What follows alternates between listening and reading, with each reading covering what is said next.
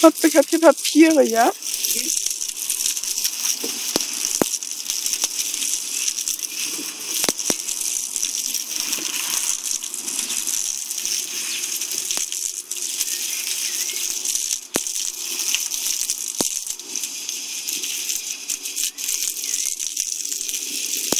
You the first kid that like